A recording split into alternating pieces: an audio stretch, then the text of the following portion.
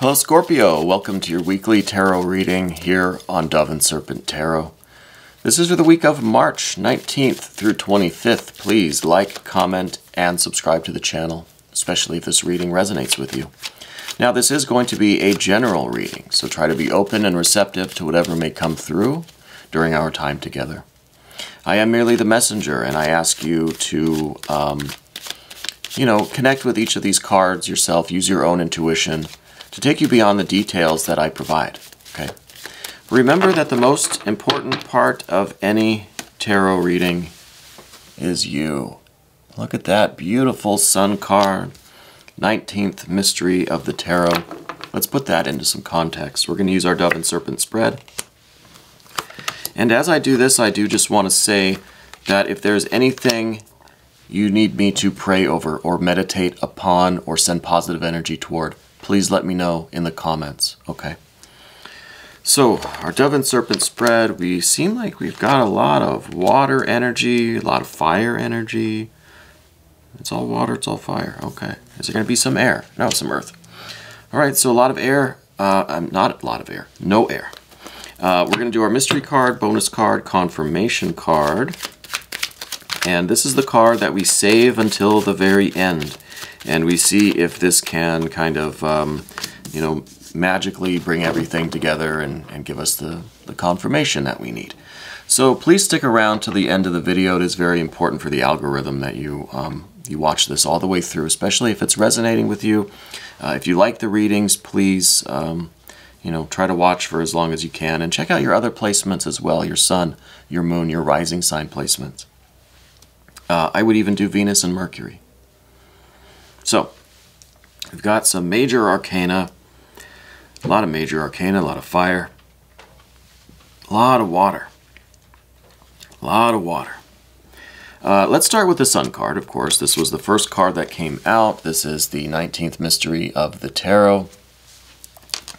I think you're the type of person who really, um, you like, you like to get involved. You like to kind of, um, you like to stay in the middle of things, you know.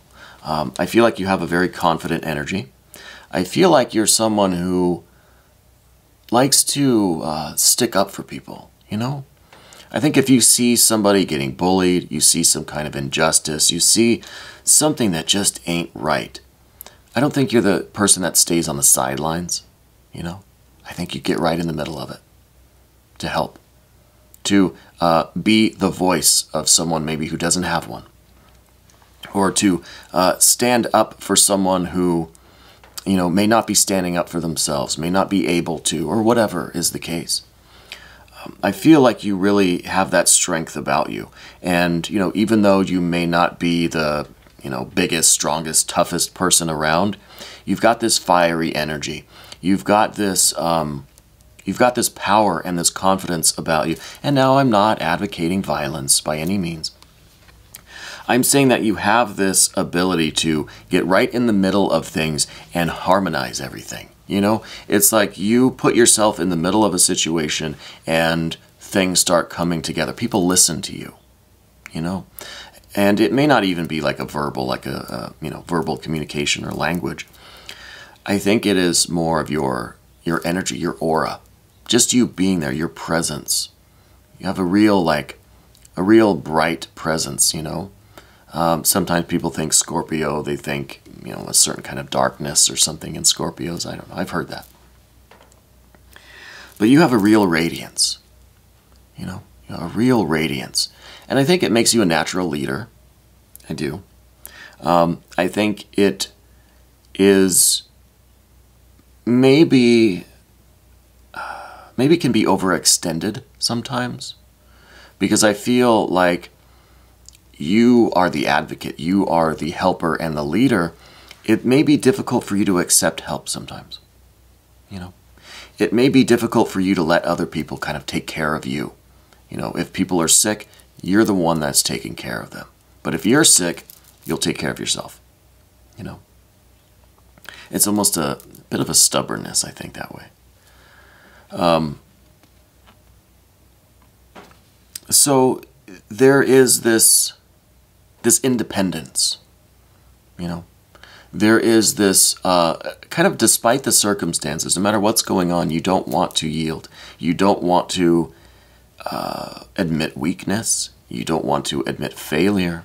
You don't want to seem like you can't um, do things for yourself or stand up for yourself, you know? And I wonder why that is so pronounced this week. You know, in the recent past, we have a five of wands here. There's been some struggle, some friction. Uh, I think pretty recently, probably. Um, and this could be uh, kind of some friction about this very thing, about you not admitting that you need help, about you not accepting care. Uh, you're, you're almost like your pride gets in the way and you're just kind of refusing to, to get the, the care that you need or to allow people to help you. Now, I, I'm really hoping that this is not any kind of a health related thing. Uh, if you are sick or you have a medical emergency, please, please go to the professional medical services in your area. Okay. Um, you know, I don't, I don't care how stubborn or proud you are. Please get the care that you need. But I, I don't know if that really is the case. Uh, with all of this water and with the hanged man in the immediate future, it feels to me like you're kind of refusing to go to the doctor or something, you know? I hope that's not the case, honestly, I do. I feel like you're in an argument with somebody about something like this that you are you're refusing to kind of admit that you need help or admit that you need uh, love even maybe you know we see a lot of this water energy here. There's something with this water. Something with the water and you're almost refusing you know you're you're you're in the desert you know and you're thirsty but you're refusing that glass of water right? And i don't know why just just yet.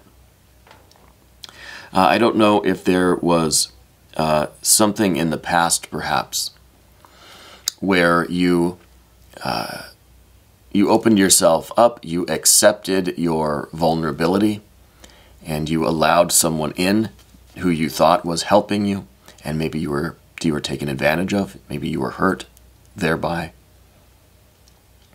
There is something, I think, in the more distant past that has contributed to this um, this kind of stubbornness. You know what I mean? I almost expect to see some Taurus energy here. Um, and honestly, we do see a little bit of Taurus energy in the uh, the final card on the Path of the Serpent.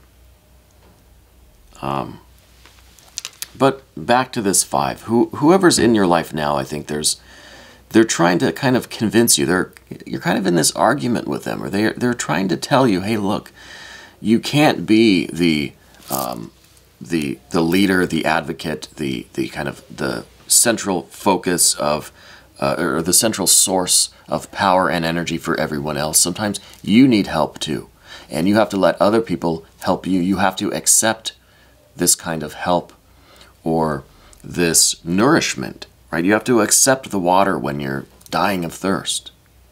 You know, there's no pride or stubbornness that should get in the way of, of that. You know, I mean, that's like survival. That's basic survival, right? But there is uh, some kind of contention there. And there is this stubbornness that I'm feeling and this, this pride slash stubbornness. We do see some Leo energy in, in the reading too. Um, I wonder if your person is maybe a um, maybe a Sagittarius. I feel like they uh, they're trying to argue with you and convince you that you need to accept nourishment, accept help, accept the love, right? In whatever form this is kind of manifesting. But they're also the kind of person, now this could be a family member, could be your romantic partner, could be your best friend, could be coworkers, whoever. I feel like there's a Sagittarius person in your life that is trying to uh, urge you to accept the love, uh, but they're not going to force you to do it. You know?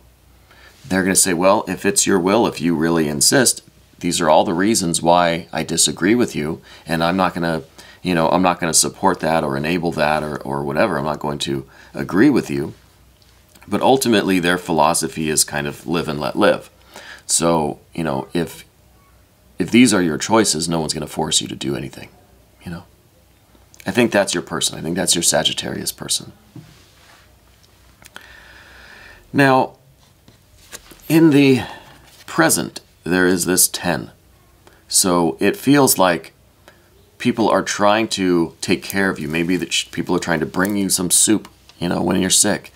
And it's just overwhelming. It's just too much. And you're almost just like, leave me alone. You know? It almost it feels like it's too much. It feels like like every every moment somebody's checking in with you or asking how you're doing, bringing you something, giving you medicine or soup or water or just it, they won't leave you alone, right? It's just too much. Uh, and that's a Ten of Cups feeling. That's the Ten of Cups feeling. And this is um, because people love you and care about you, you know. So this is kind of accepting the love. Um, it's almost like being the kind of leader, being this solar energy that we're talking about, and being strong enough to accept these people coming in and checking on you every five minutes, you know, or giving you all of this love more than you really need, more than you really want, more than you can even consume, you know. This is like you're absolutely stuffed full of food and they just keep bringing you more dishes and it's just getting too much. You know, you don't even want to look at it. But because you are this solar energy, it's like you're you're going to endure that rather than complain, you know. You're going to just accept all of this food that comes in. You may even eat most of it rather than kind of rather than complaining and putting yourself as um, you know, someone who has the problem because you're the you're the fixer. You're the problem solver, right? You're not the problem haver. Whatever. So there are a lot of people that care about you and are concerned about you and are yes, probably checking in every 5 minutes with you. Bringing you something every every couple of minutes. You, you want some water, you want some soup. Can I make you a sandwich? Do you want to go outside? I mean, just all sorts of things. You know, and I don't know what's going on. I don't know. If, I, I hope it's not a, a health related thing. I really do. Um, but I feel like your people or your person, your Sagittarius person perhaps, is trying to give you this abundance of love and affection and care and nurturing. And you're almost like begrudgingly accepting it. You know, I think you, you're your stubbornness and your pride is trying to reject it. I feel like you're kind of going to just grumble and, and allow it. Um, up above everything, we do see this Nine of Cups, which is a very, very wonderful card. I think truly, honestly, deep down, you, you do appreciate this, you know. You're, it makes you happy that people care about you or this particular person. If this if your person is a Sagittarius, if it's represented by this person, maybe an S name, you're very thankful for them. You feel loved. You know that you're loved. You know that people want to care for you and that they care about you. You know, they want to kind of nurture you and, and they want to give you all the love that they can. Okay. Maybe they just don't know when when is too much, you know. Uh, but you are someone who is, I think you're physically strong and and powerful. I think you have um, you have a focus on on health and well being, but it's it's one where it's um, it's almost like you just do it yourself, right? It's not something that you really share with others. It's kind of a solitary thing. I feel, you know, weirdly that you are a solitary person, even though you're in the middle of, I think, you're always in the middle of everything. You know, you're the advocate. You're the one that's kind of fighting for the underdog. You're the one that is taking care of others. Um, I wouldn't be surprised if you worked in the service industry, maybe even like hospitality or food service or something. Because I feel like you're always trying to make other people ha- happy, provide what other people need, but don't you dare try to provide what I need. You know what I mean? You're the giver. You're the fixer. You're the problem solver. Um, and so this isn't a solar energy that is just out there saying, hey, look at me. I want all the attention. That's not that. It's you radiating your light. You know, there's so much light and heat and warmth and love coming off of this star that we don't ever really see the star. We don't see what's behind all of this heat and light and radiance. No one knows what it really looks like or what it what what's what's inside of it. I mean, I think scientists do. Um, it's a metaphor. Uh, so, and that's how you like it. You're you're radiating so much, and you don't want people to get too close to you. You don't. People aren't going to be able to see. You're too blindingly bright, right, for people to see really inside of you. And maybe because inside of you is a little bit of this watery softness, this you know, uh, ooey gooey center. And this, I think, is the, the love that you have, the reason why you are such a bright, shining sun bright shining star is because you're filled with such abundant love and concern and compassion. You know, I think you really do love people and you're filled with this this energy. And it's kind of um, not even not even your choice really. It just it radiates from you. But this is something that's kind of secret right? This is a three of cups. This is still kind of beyond the veil, right? It's above the abyss. There's a gulf between this core part of you and the rest of the manifested world, right? The rest of the, the energies that we can we can process and experience as as you know intelligent beings. So you like to keep this. It's kind of a moat you like to keep this moat around you, right? But there are just just droves and droves of people that are coming to your castle trying to cross the moat and bring you gifts and food and what cows, whatever. You know, they're just they're trying to bring you gifts and they're trying to heal you and bring you different medicines or or salves or you know, um, they're trying to care for you. They're trying to show their concern and their appreciation and their love for you but you've got that moat. And maybe the moat's filled with, you know, hippos and crocodiles, and it's, um, you know, you're trying to deter people from getting too, too close. Because you're the giver, you're the provider, you're the one that's radiating out. In the immediate future, we see the hanged man. So I wonder if this is you kind of um, in the future saying, fine, you know, uh, I yield, I accept, and you you you lower the drawbridge, right? You let all the alligators go, and the hippos, and people can come in fine. You can get close.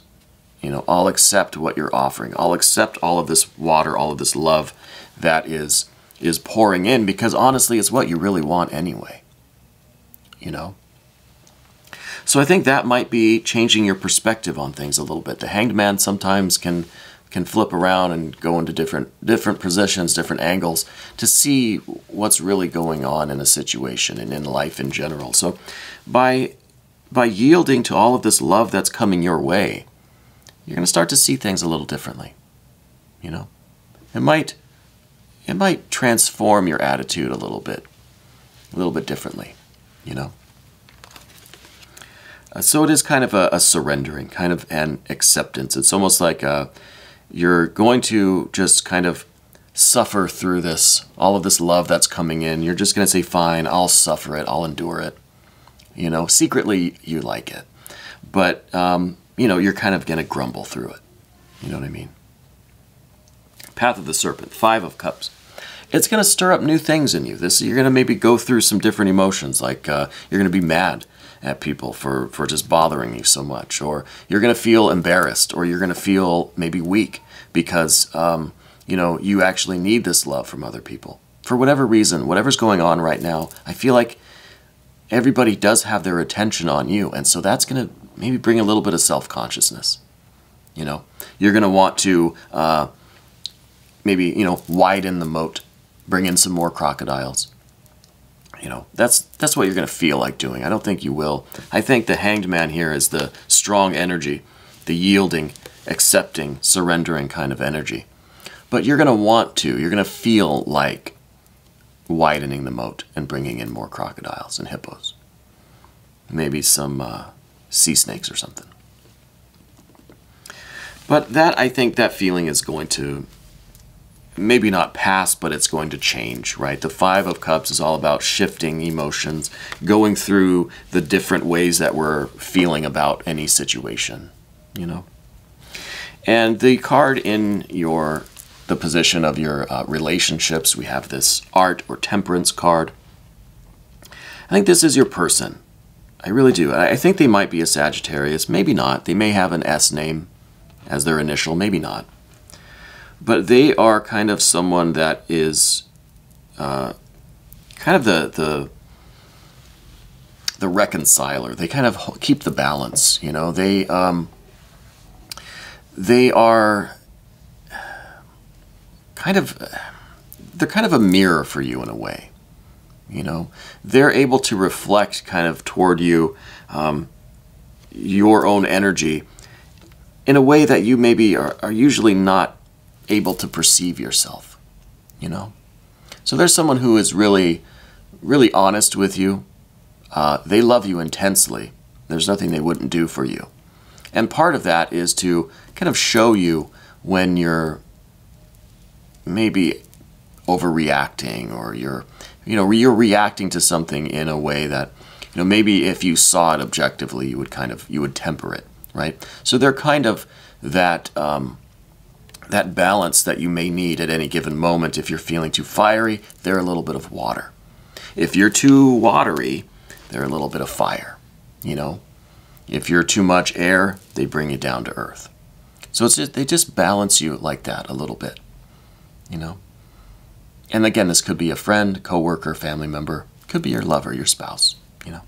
I think they're a Sagittarius, but if they're not a Sagittarius, they definitely have this very philosophical outlook on life. Remember I said it's kind of like a live and let live, but they're going to make sure that um, that you know. You know what I mean? Like they're going to let you do your thing, but they're going to make damn sure that you're aware that they don't approve, that they um, you know, they're going to show you that objective picture, right? So I think that I think this you're really lucky to have this person in your corner. I really feel like it. Um, now, here's some of that Leo pride energy in your fears, worries, and concerns. I think part of the the reluctance to accept this water, accept this love, is that it's going to make you look weak. It's going to make you look like you're not in control. It may even feel like you're going to lose control literally because you're going to be so overwhelmed with this water, with this love, that you're going to be swept away by it. And you don't want to be swept away. You like being in control. You like being the giver, the fixer, the problem solver. So if you yield, if this hanged man is activated and you yield, are you losing control? Are you now putting uh, putting your fate into someone else's hands, or are you just is your power diminishing? Is your influence? Is your stature kind of shrinking a little bit? You know. That's the fear and the worry. In the kind of projected outcome, we see this is that stubborn Taurus energy I was talking about. This is a six of pentacles. This, I think, is a real harmony in your life. I think the way this is all flowing is in a real balance kind of state. You know, um, I think if this is a health thing, health or wellness, which again, I hope it's not, but if it is, the six is saying everything's going to be restored. Everything's going to be back in harmony, right? All your chi is going to flow. Everything's going to be balanced. All of your elements, all of your humors are going to be in proper balance. All of your planets are going to be in alignment. Okay? And I think that's I think that's a good thing. And part of this is because of your stubbornness. Because you you will yield, I feel, but you're not going to be swept away. You're not going to lose your power. This card is your, your vitality, your power. It's almost as if you're worried that if you are swept away by all of this water energy, right, that it's going to actually do more harm than good because you're going to lose your fire. You're going to lose your vitality, right? And this card is saying, no, no, you're not. You have the, the power, the vitality. You have the stubbornness and the pride to not let it get that far. You know, you can still yield. You can have the balance, right? You can still yield, but you can still be this solar energy. You can still have your vitality, you know, your power. So what we have with the sun is the sun's right in the center of this six, right? This is the hexagram. The hexagram in, in astrology is the, the seven planets, right? Well, the six that are at the points, and then the sun right in the middle. And you are that sun right in the middle.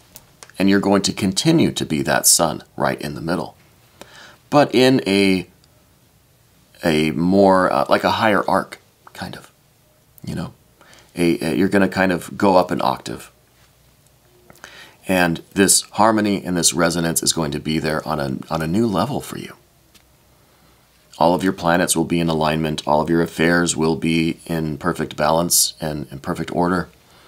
Uh, the people around you are still going to um, are still going to be kind of orbiting you, right? Because you do. You like to be the center, right? You like to be the one that's kind of keeping everything going, keeping the structure, keeping the system intact, keeping everybody on track, um, supporting everyone, uh, providing light and heat and and energy to everybody.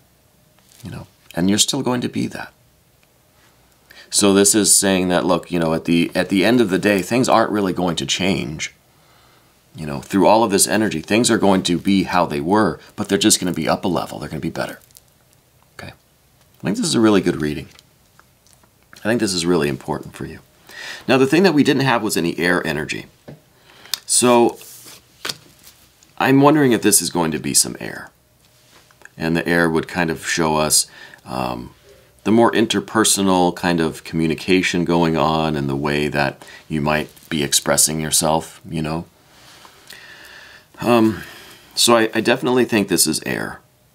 But what kind of air? Is this going to be major arcana? Is this going to be, um, you know, maybe the lover's card?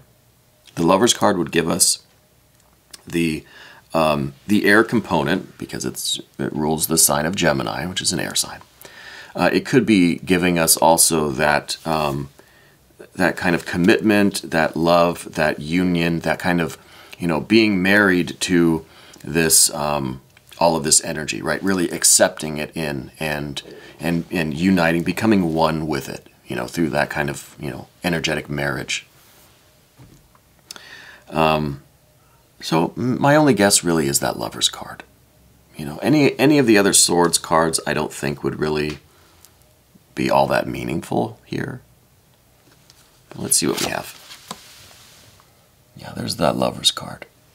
So this really is something that I think um, you're going to commit to, to this, um, to receiving as much love as you're giving out. Uh, it's like you are admitting that you need all of this love.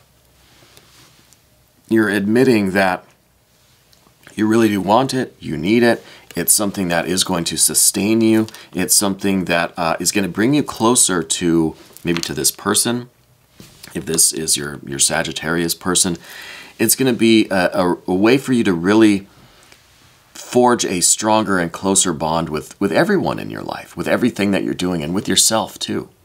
Because you're you're creating that that moat around you, right? With the crocodiles and the hippos and the snakes and stuff.